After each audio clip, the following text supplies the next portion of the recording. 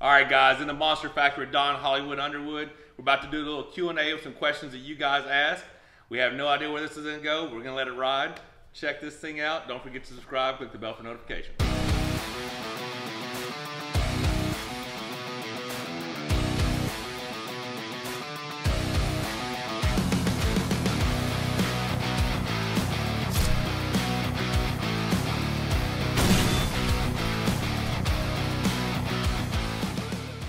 35 people liked this, 13 people commented on it, and it is from Rug, R U G G 0187. Rug in the house. Yes. He wants to know what happened, Woody, to you after the Arm Wars in 2011. You were in good shape and disappeared off the scene like Red October. It was Uh, 2010. It didn't air 23rd. into 2011, but the match took place December 2010 after WAF Worlds. Go ahead. Where did you go, Don? Where did you go? What happened to you? This guy. Um, God, that's, uh, I mean, that's 10 years ago. Uh, continued to, to, to actually, that was 10, so I'd won the Arnolds. I And went won the Arnolds in 12. Yeah. I beat Bortolato and a group of other guys. Um, heck, I was at the Arnold the 14, took second to Bresnan then, so I, I, I didn't run That was away. 13, wasn't it? Uh, 14. 14? Well, didn't you take second, 13 to Chafee or somebody? Yeah, I did. Yeah. So, um, and I watched those matches, and I really should have continued to pull. I think I would have won those. Um, yeah, no, I just took some time off after Game of Arms. You know, um, you work that hard for something, and it goes away.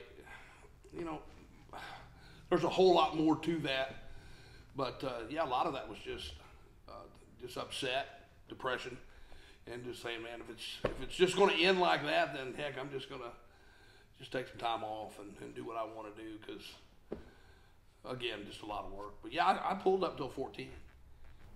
So you're referring to depression after the ending of Game of Arms, which Well, was sudden.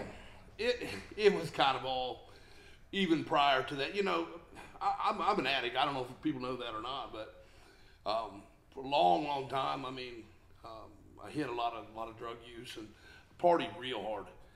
Um, so that had a lot to do with it. You get to a certain point in your life where you can't hide it anymore. So you've got to close the door. And um, when you do that, you're not wanting to be in front of people for them to see, especially the people and the, and the fans that, that love you. You don't want to show up looking like a train wreck because they're going to know. So basically, went and hid for a while, you know, and uh, figured out that that wasn't life for me and started on a new path. And hey, we're sitting here Here we talking go. about it now. What you may not know is that Game of Arms approached Michael, and it was he knew the shape that you were in and what you were dealing with, and part of the reason he refused to be a part of what they were doing was because what they were doing with you specifically. I, I don't blame him for that. you Well, I mean, I was told that they put a bunch of shot glasses in front of you and told you to. yeah, And I was like, a lot of I that. was like, motherfuckers, I mean, we're professional athletes. Don't, and for one, don't contribute to your addiction. Don't be the person, you know, and so I didn't like that. I didn't like that approach. I mean, it's crazy to the point, like, so I was the first person they contacted before they saw you at the Arnold that year. Yeah. And um, I was, I was going through some shit. I'm like, I don't know if I can be involved right now. Yeah. Um, and then they, they get you, they keep rolling, and then I'm at the, uh, at the CrossFit Games, and they approach me, and because they talked to Rebecca, I'm like, oh, can I, I'd love to talk to your husband, blah blah blah. And Rebecca's like, yeah, Michael would love to. And as soon as they walk up to me, they introduce themselves. I'm like, yeah, I don't like that shit you are doing. Right. I said, we're professional athletes. You know, that's like, so it really backfired because Rebecca thought I was going to be super nice about it, but I was greatly offended that they were doing that to my friend. You know, so I you didn't know, like and, that. and that means a lot to me, and, and I had no idea about this. You know, the thing is, is looking back in- in any kind of unscripted reality show, they are going to take the substance and run with it. Um, as entertaining as I am, give me some alcohol. Um, I miss a few planes. Uh, you know, I become a. Now they want to, you know, highlight it. You know, and and that's that's kind of the thing that, that made Game of Arms so hard to deal with as as an athlete and an addict together. right.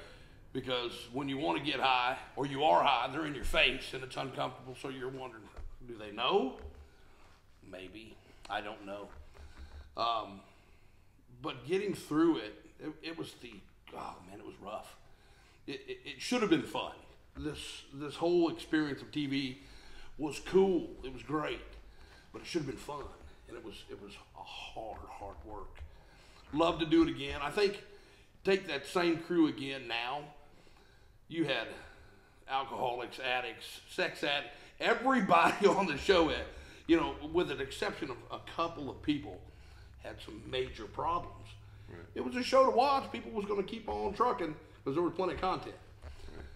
But when it canceled, I think, I think it had a lot to do with the big man upstairs because we would not be here today if you handed me and a bunch of other people the amount of money that was coming for us.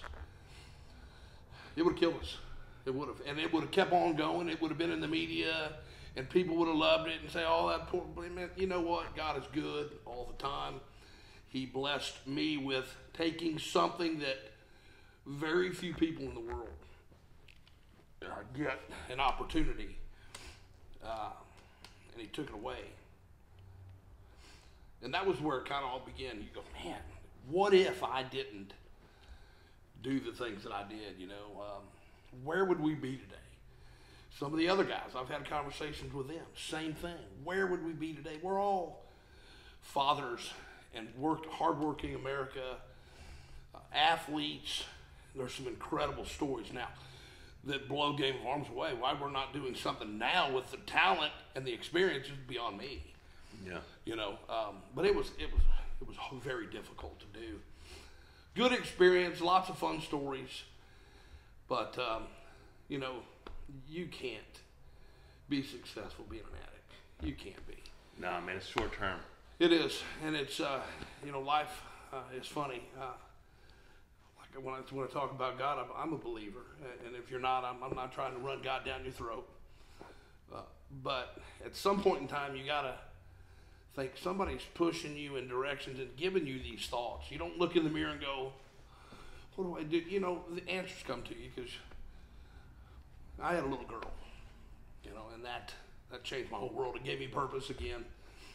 Um, and having her and enjoying the time, you start reflecting back on the good times you've had in the past. Uh, me and this guy ran, God, we ran the block for many years. You know, go uh, way back. I'm talking. It was, dude. It was me and him. There wasn't nothing else. I mean, everybody knew Michael and Don, Band Brothers, whatever you want to call it. If it, it was here, it was in Europe. We were we were killing it.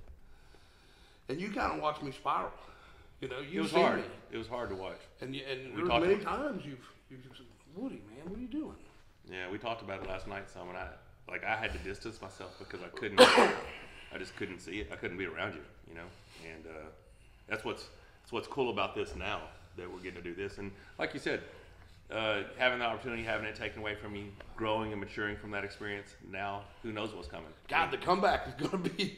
This hurts. the comeback story is always better, right? you, you Yeah. know, and- well, because I was at a pretty high level. You know, you had mentioned some things um, prior to me coming down here. Um, if you don't know the accolades that I've that I have, is it's um, it's up there. Um, travel the road with you. I've watched you win. Um, I had to win. We were we were a team. It wasn't Michael win and then no, uh, Don's out in the first round. No, we were we were something to deal with. I was super heavy. He was heavy, so that kind of kept us apart.